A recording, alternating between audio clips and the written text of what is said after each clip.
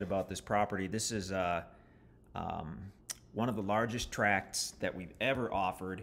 Uh, this is 408 acres, according to the county, um, about 30 miles southeast of Springfield, Missouri. It sits right on the county line between Webster County, Missouri, and Douglas County, Missouri. If you look at the map here, uh, so it, it's all contiguous, but you've got about 240 acres in Webster County.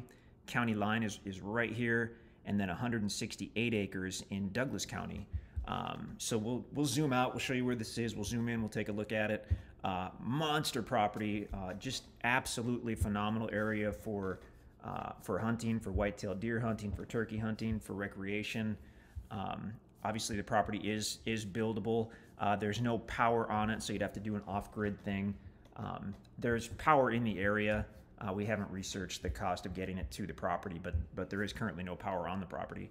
Um, we had good cell service out there uh, certainly in the high areas.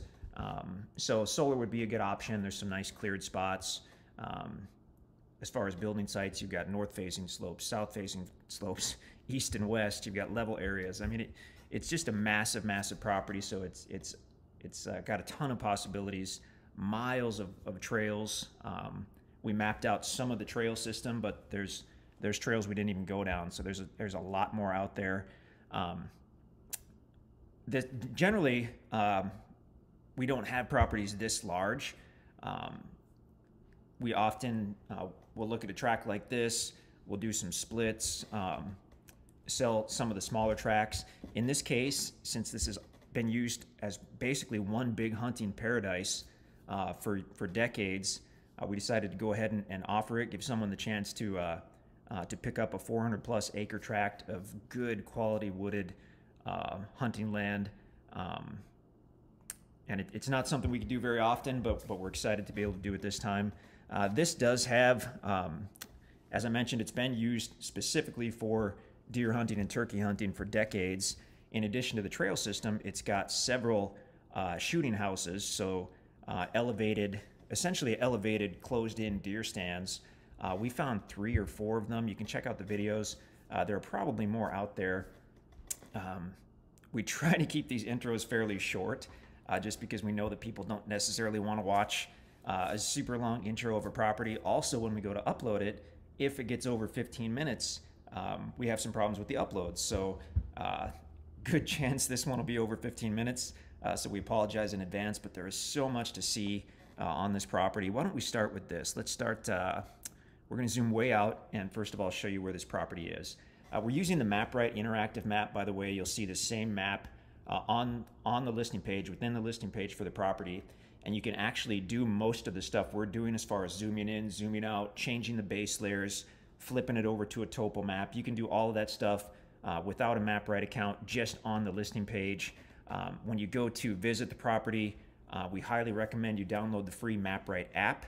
Um, and then you can actually um, within the listing page, once you've downloaded the app, you can click on a couple things, and um, not only will this map open up on your phone, but uh, it'll it'll uh, what am I trying to say? It'll it'll show where you are, so you can be looking at the map and kind of tracking yourself. Makes it much easier to get to the property. Uh, cool way to explore the property. Uh, on the website at the, at the top, I think it's the FAQ tab. If you click on that, I believe we have a video toward the top of the FAQ page that explains how MapRight works. Uh, just really quickly, you, you don't need a paid subscription. You don't need a, I don't even think you need a trial subscription if, unless they've changed something. Just download the app. Don't even open it. Just leave it on your phone and then follow the directions in that video um, to get it lined up. And we'd be happy to help you with that. You can call us in the office. Our office happens to be um, only about 20 miles from this property, so you can stop by as well and, and we can get you set up with that. Okay, so let's zoom out here. Uh, what I was about to say though, when I brought up MapRight. As we zoom out, these labels will start to get kind of funky. Uh, MapRight's a great program, but it does have some limitations. So at some point, we just might turn the label layer off. And you can see how messy that looks. So let's go ahead and turn the... Oh, they went away. Let's turn the arrows off as well then.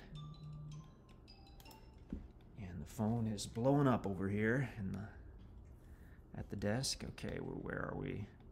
We'll turn the arrows. We'll turn the... Okay. So here's the property again, the 408 acres. Uh, this is Highway 60, runs east out of Springfield. This is Seymour, Missouri. which um, is about five miles north of the property. As, as the crow flies by road, it's further. Uh, if you look down here to the southeast, you've got Ava, Missouri. And from Highway 60, you just go west and you go through a few little towns, and then you'll hit the big city of Springfield, Missouri, which is about 30 miles um, west of the property. Again, further by road, but just for location purposes, it's about 30 miles uh, northwest of the property. So Springfield's amazing, um, largest city in southern Missouri, numerous hospitals, colleges. It's got a good airport, um, a lot of direct flights, and um, uh, no matter where you are, you can generally get to Springfield with one connecting flight, if not a direct flight, if you're in, in some of the major cities. Uh, so pretty simple to, to hop into to fly into Springfield. Um, airport's over here toward the northwest side. Rent a car, cruise on down to Highway 60, and shoot over toward the property. Uh, stunning, stunning location. Um, Branson is only about uh, 30 miles south of Springfield, so that's where we're right down here. It's nine thirty. There's Branson right there. Cool place to spend the day. There's a lot to do in Branson. Uh, the property itself, so if you want to get to the property, a couple ways to get there. Uh, you're coming from Springfield, you'll likely take Highway 60 to the east. And there's two ways you can go. I'll show you the way that I'll show you the way that we go. Uh, kind of one of those deals that it's it's the way we went the first time, so now we go every time. Um, I think there are better ways to go, but the way we go is is we take Highway 60 to Seymour, um, turn at the stoplights, and kind of go through town, and end up on Highway K going southerly. So here's Highway K.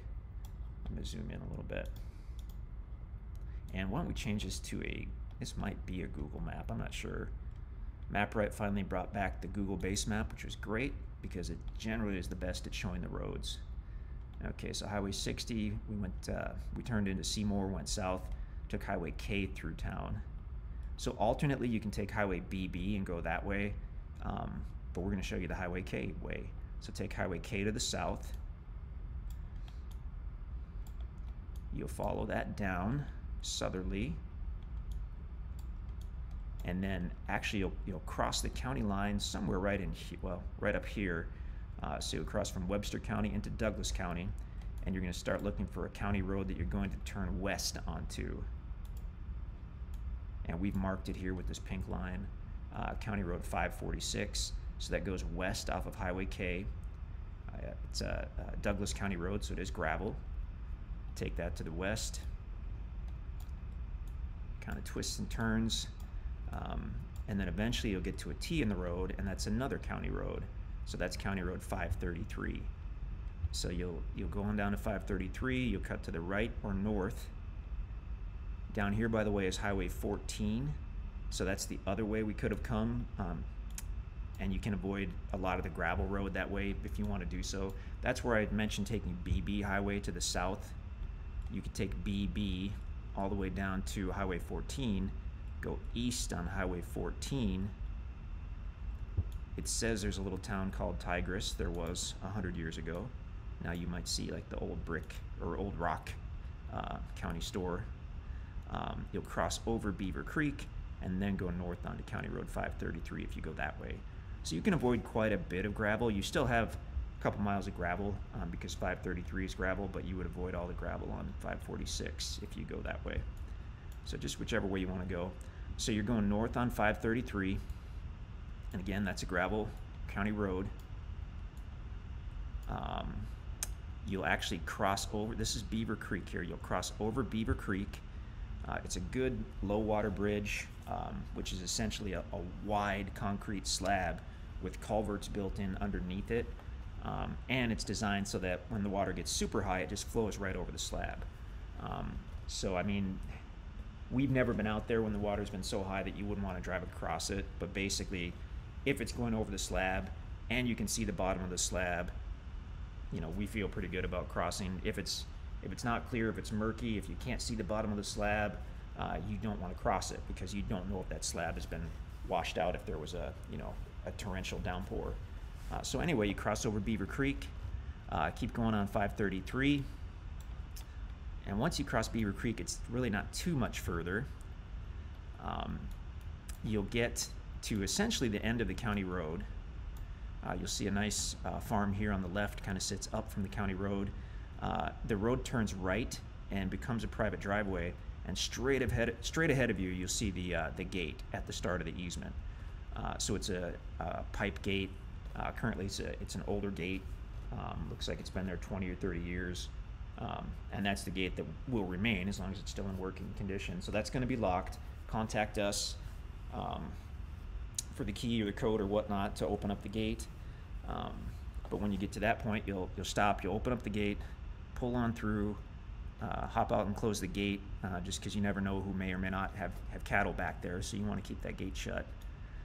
Um, this blue dashed line is just indicating a creek bed and that this white dashed line is indicating the start of the easement. So you pull on through. Um, you, you absolutely do want four-wheel drive, and ideally you want a four-wheel drive that can handle some scratches uh, because this is a, a, very, very, very low maintenance easement road. Um, our guys may be going in to just trim back some of the brush uh, uh, just for that reason to, to keep it from rubbing against you know your vehicle but uh, you, you probably don't want to come out here in your brand new Denali if you can help it. Um, I mean, yeah, we, we've been up and down the road several times and, and we haven't had an issue, but we have had some brush rub the side of the vehicle. Uh, and we have had to use four-wheel drive a couple times, and I'll tell you why a, as I zoom in here. So again, you go through the gate, the easement begins, that's the white dashed line. Um, you go in just a few hundred yards, and you can see this creek. Now, this is not Beaver Creek. This feeds into Beaver Creek and this blue dashed line is trying to represent the creek bed, but it's obviously not quite accurate as we look at the aerial. Um, but anyway, once you get up a few hundred feet, you can see uh, uh, where the where the road crosses the creek bed right here. So what has happened over the last few years or decades is as the creek bed um, you know gets high a few times a year and overflows its banks, the creek decided it might be convenient instead of making this turn to go ahead and just you know run down the road easement. Uh, so the creek bed is still what you see here, but you can tell that if it gets super high, it probably does run down this road easement, and so that tends to to bring some big rocks and some sticks and, and whatnot. Um, so with four-wheel drive, we were fine, but we generally have to go really slow over this protect this particular section of road because you've got some big rocks and whatnot, um, it might be a deal where you know someone just spends a, an hour or two and rolls the big rocks out of the way. Uh, there weren't any boulders that you know we couldn't climb over, but it, it, was a bumpy ride on that section. Let's just put it that way. We wanted four we needed four wheel drive, and it was a bumpy ride. Okay, so the road crosses over that creek bed, uh, smooths out a little bit there. And then uh, again, this this white dash line is just kind of giving you a representation of, of where it is. If you look at the aerial, you can clearly see. Please don't drive through this guy's field. Stay on the road. Uh, don't drive through anybody's anybody's meadow or pasture. We'll see if we can't modify that a little bit to show because you can see clearly where the road is. Okay, this is where it gets kind of interesting though, and this is the cool part. Okay, so you can see how, how it kind of splits here. Uh, to the right goes up a small, starts going up a hill, and to the left um, does not. So when we bought this property, um, we had bought it through a real estate agent. We, we weren't able to talk directly to the seller until the closing. And so uh, the property does have um, legal access uh, via the easement, uh, so no worries there. Uh, title company covered all that. We're good to go. Uh, the the easement reads um, something to the effect of um, the road that that was the old uh, county road that linked the little town of Tigris uh, up to Seymour or something like that. And so our understanding, looking at the maps, was that the access to this property via that easement, instead of going right at the Y, that you had to go straight, cross the creek bed again, keep on going, and you can see there is um, an old road there. Go, go, go, another half mile. Finally, get to the the corner of the property. Um, and we thought that by looking at different maps. I mean, if you look at the topo map, and this particular topo is what they call the, what MapRight calls the vintage topo, which just means it's old. So it's probably from the anywhere from the 50s to the 80s. And on the vintage topo, it actually does show, yeah, there was a trail there. Uh, so our assumption, uh, which you know may be accurate, is that that is the actual old county road, and that that is the easement um, to the property. But anyway, we were talking with the seller at the closing, and he said um, that his understanding was it, it actually you can go right at that Y, and that that was the old county road that goes up to the property that way, um, which was fine by us because in our minds that's really much better access uh, than crossing back over the creek bed and going up that way. Uh, so if, if that's the case, um, then you take a right at the Y. Uh, you get it, there's a little steepness up in this part. Uh, with four-wheel drive, you should be fine. And then bam, you're, you're at the, the southwest corner of the property. Uh, so now you know what we know about that. We had assumed that, that this longer section was the easement onto the property and that you had to access it via this uh, area right here. Uh, the seller said uh, his understanding was that the old the old county road actually did go right and go up that hill onto the property. Uh, if that's the case, great. That's the way we've been going. Uh, if if that's not the case, I mean, then you've got you've got access one of the two ways. Um, currently, we've essentially you know kind of been going either way, but but it is more convenient to, to take a right and go up that way. So uh, once again, to reiterate, it, it does have insured access. Uh, you are covered there. Um, whether it's whether this is the old county road right here or whether this is the old county road right here that's what we're not sure about. Um, but either way yes you can drive to the property. Uh, the the road itself I mean when we go back to the the vintage topo uh, it shows it going up here crossing over the corner it keeps on going uh, crosses over there keeps on going uh, and then eventually uh, gets up here and, and links up to a, a county road um, and the, the trail that the topo map shows, um, I mean, there's still a road pretty much right in that location, uh, whereas the maps we saw did not show, whoops, go back here. The maps we saw didn't really represent any, any road, any existing road here, although there may have been. Um, so, you know, do with that info what you will. Uh, we, we happen to like this access better because it, it's a quicker way to get onto the property. Um, but either way, like like we said, it, it does have uh, uh, insured access. Whoop, where are we going here? Uh, as far as um, once you get up further, see kind of the, the white, the thicker tan lines are the trail system within the property. Uh, the part that we mapped out, there's more. Uh, the blue dash lines are the, the little creek beds, um, which are, are going to be wet weather creeks. Some of them you know, some of them were, have been running every time we've been out there, but um, we just call everything a wet weather creek to be on the safe side.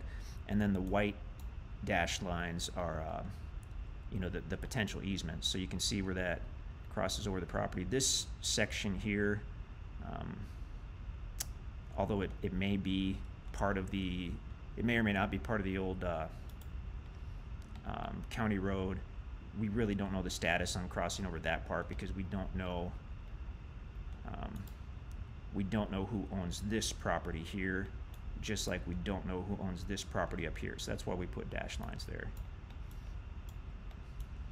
If you have any questions, you know, ask us about that. Um, all I can say is, once again, it, it does have insured access. Um, the only part that we thought we were clear on and it turned out we weren't was when you get to this Y. Uh, the, the person we bought it from, the seller, said take a right, shoot up that way. Um, you know, that's that's the old county road. The maps we have seen kind of look like this is the old county road. But either way, um, you're covered. You, have got access to your property.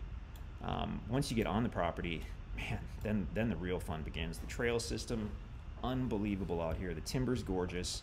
Um, so MapRight does have different uh, base layers that you can that you can use, and uh, generally we cycle through those because sometimes there'll be a, a wintertime aerial like this one, um, but in this particular case, all the different aerials are, are wintertime aerials.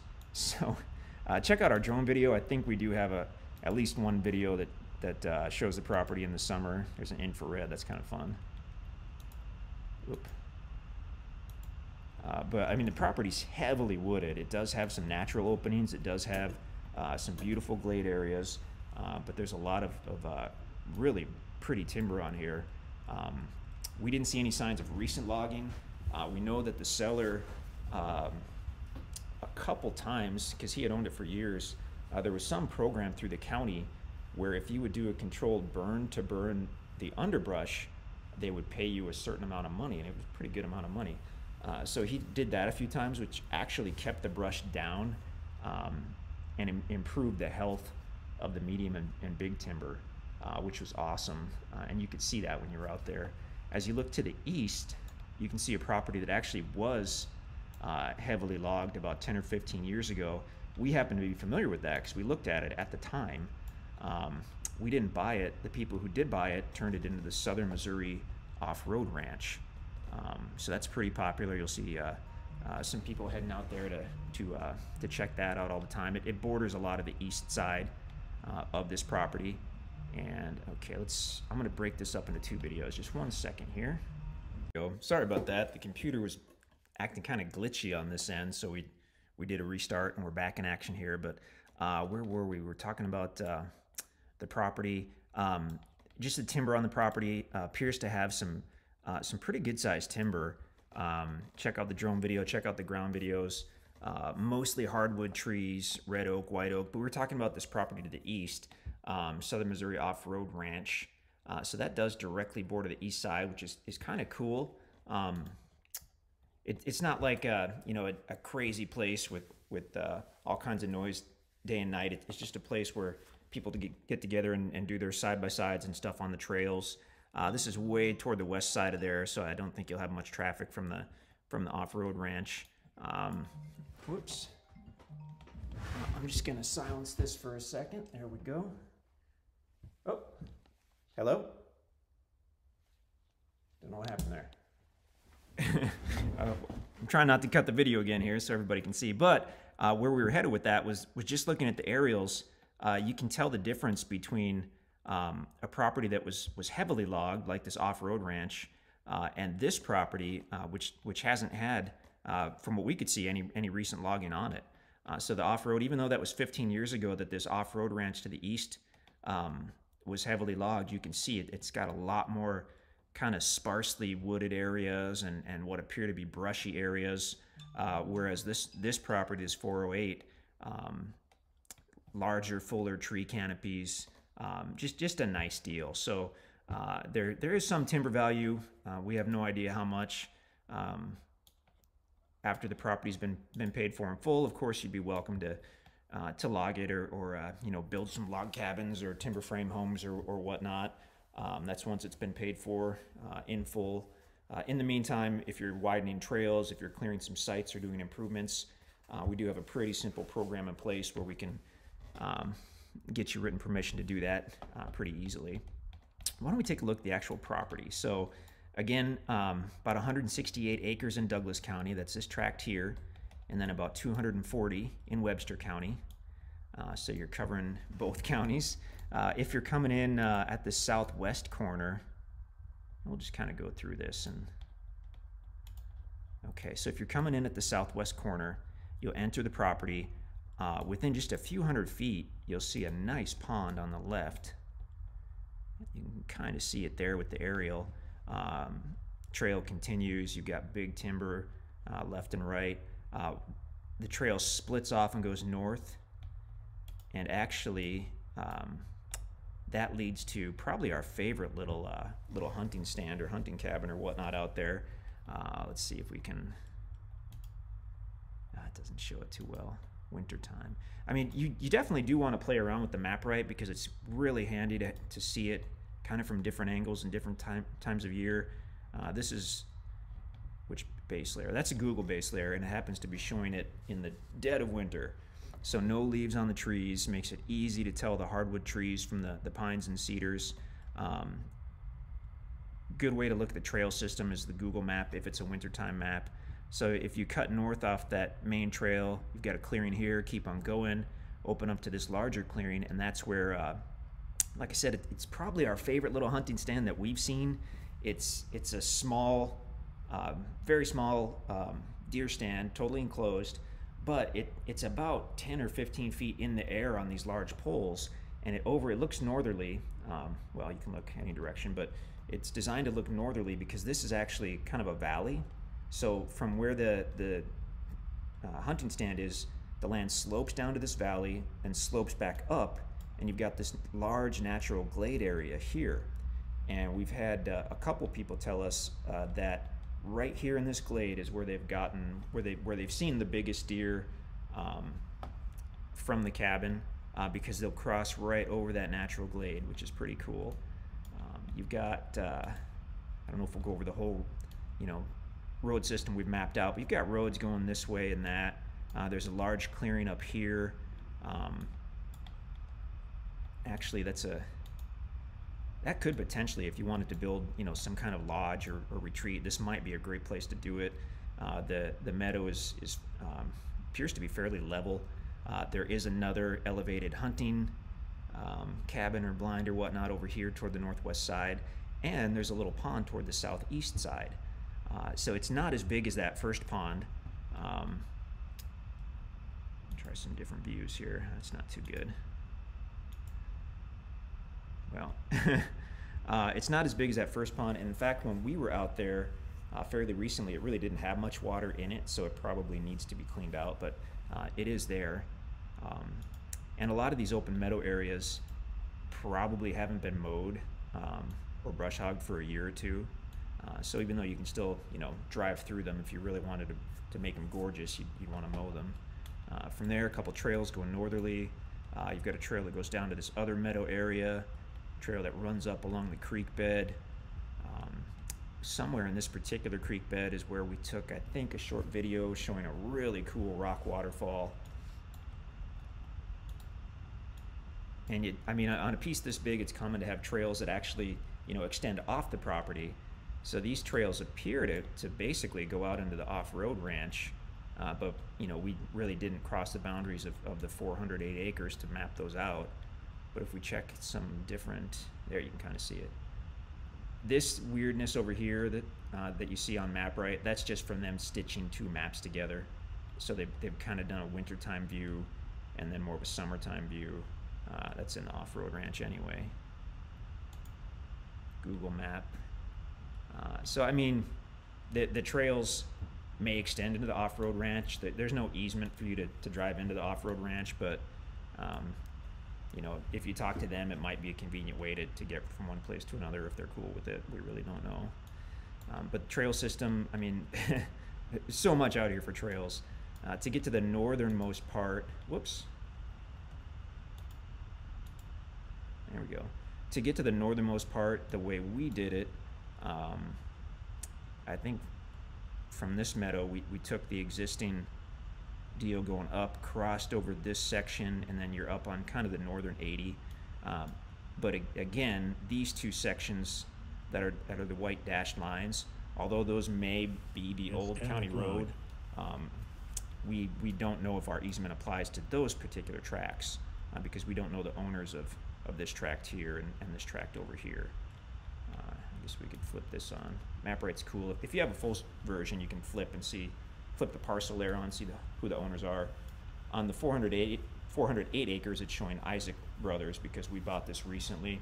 And although the county assessor probably has it updated already, MapRight, all those other uh, apps that, that show land ownership, they don't update immediately. They, they basically pull from the county records once or twice a year to update their system. Uh, so this is likely to show as Isaac Brothers on MapRight, on uh, on X, on Hunt, on all those uh, for six months or a year. Uh, there's the Southern Missouri Off-Road Ranch, which is cool. But again, we, we haven't talked to uh, Donald James Majors to see if that easement extends over that portion or not. Um, the road was open. Um, you know, do with that info what you will. If, if you're respectful about using that road, then um, it might be absolutely fine. But uh, otherwise, uh, I, there may be trails going to the North 80 directly on the property. If not, you could certainly create someone. I know that topography, it does drop down and back up. Uh, while we're doing that, why don't we just flip over to a topo map and we'll have a look at uh, topography on this. That is actually one of the coolest parts of this property. Okay, so we are in the uh, the true Ozarks. So you've got a lot of ups and downs and hills and hollers and that stuff. Uh, and this tract is big enough that it has all of that and then some. So it's got high ridges, it's got low valleys, um, slopes facing north and south and east and west. Uh, so if, if you're, excuse me, if you're familiar with the topo map, this definitely makes some sense. If not, this doesn't make any sense at all. But basically what the topo is showing is that the elevation change, um, you know, the gradient of a slope. Uh, so once you get used to looking at topo maps, you can glance at this, you can know um, where you're likely to see the creek beds, where you're likely to find the trails, because the trails tend to run on the top of ridges. Um, in this case, if we start at the, let's start at the southwest tip, if you're coming in that way, it shows the pond, which is cool. Uh, this particular topo, MapRight gives us two topo options. We've got this one, which is called a vintage topo. We've got this one, which is called a modern topo. Uh, they're telling you the same thing. Uh, the modern topo was, was done within the last few years. The vintage topo was probably created by the uh, by the federal government sometime between the 1950s and 80s or 90s. Uh, so it's it's cool that they give us both options because that's sometimes where you can see you know older existing roads like we mentioned before um, and that kind of stuff. So we'll just leave it on vintage topo. Um, as you're coming in at that southwest side, oh, also on the vintage topo, uh, these white, whitish areas are indicating that when the topo was created, uh, those were open, either meadows or glades or pastures, and then the, the light green indicates it was wooded. So we know that when this topo was made, however many years ago, um, this southwest corner around the pond was bas- basically open pasture, which makes sense because they likely created that pond 50 years ago, 100 years ago, uh, for animals, for cattle. So they would have had an open area around the pond. This shows that this area um, was open, but I think that's because that's that natural glade. And then when this map was created, uh, these meadows that you see, that, that you will see, uh, apparently didn't exist because it's not showing a white area on that. I don't know if the modern topo does that. Eh, not really. I see some white patches over to the east, not on the property. All right, let's go back to vintage. Uh, so as you're coming in, um, as you take a right on that little section of road and start going northerly, you can see it's it's rising up. Uh, there is some steepness to it. Once you get onto the property, it actually levels out quite a bit. Uh, it's practically flat on this very southwest corner, and then as you head more easterly, it starts rising up. You've got the road that goes to that uh, that cool little hunting cabin deal. uh, otherwise, you can keep going east. Uh, that goes up a, a, fairly steep hill, and then once you get up here, uh, you're on a, a, large level ridge, and the road essentially goes with that ridge all the way toward this northeast area, and that's where um, where that open meadow is. But we'll flip to the aerial photo, and, and you can see, uh, although it is a good-sized meadow, I mean, look at this large level area out here. I mean, you could expand that a lot if you wanted to, or if you wanted that to be your private uh, uh, building site and wanted more open ground. Uh, I mean, you could you could drastically expand expand the size of that meadow and still have basically all level area um, right here looking at the topo. So let's quickly go to the aerial. We'll just do a Google. There you go. So you can see that the cleared meadow, um, but actually the topo is, is showing us that there's quite a bit more level area where if you wanted, you know, a, a monster yard, uh, just level, you know, grass, uh, you could do that, uh, or you could certainly um, leave the timber there. Okay, so we'll go back to uh, the vintage topo.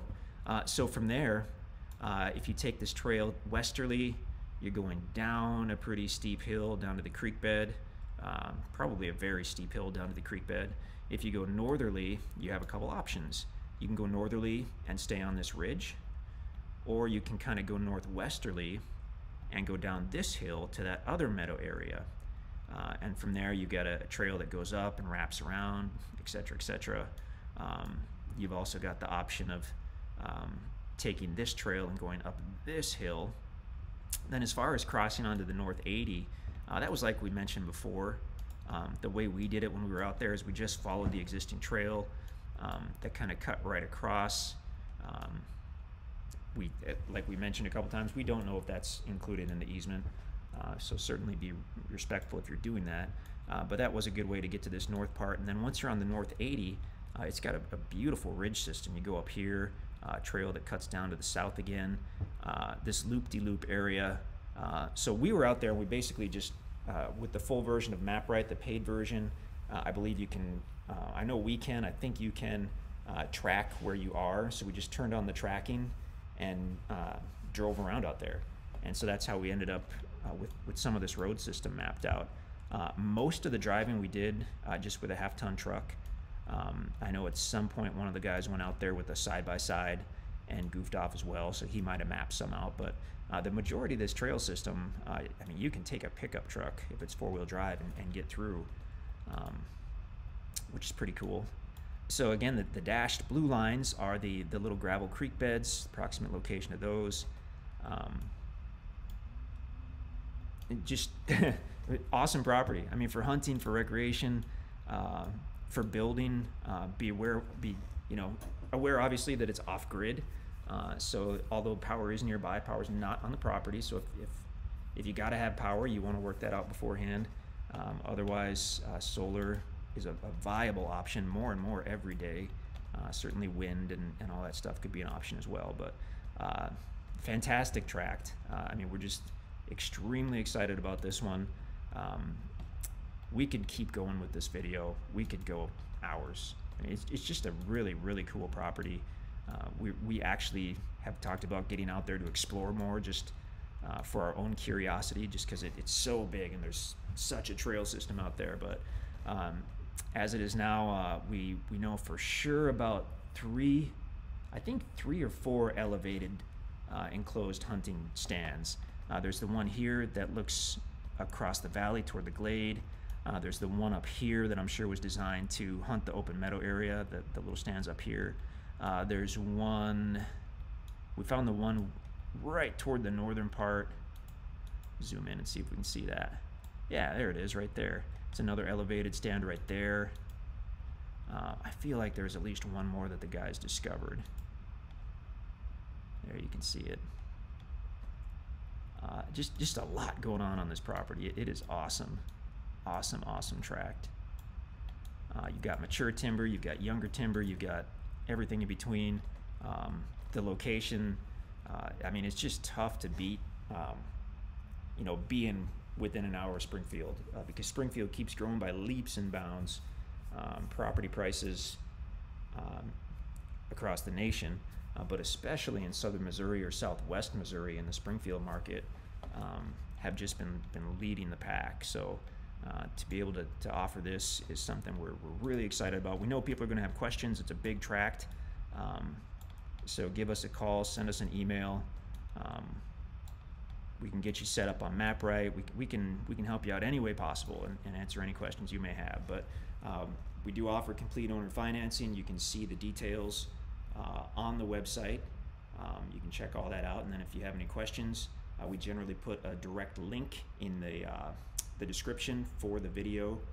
Uh, if you're watching this on YouTube, uh, or if you're watching it on the listing page, you've already found the listing page, so that's great as well. But uh, there you go, 408 acres, um, close to Springfield, close to Seymour, Missouri, close to Ava, Missouri.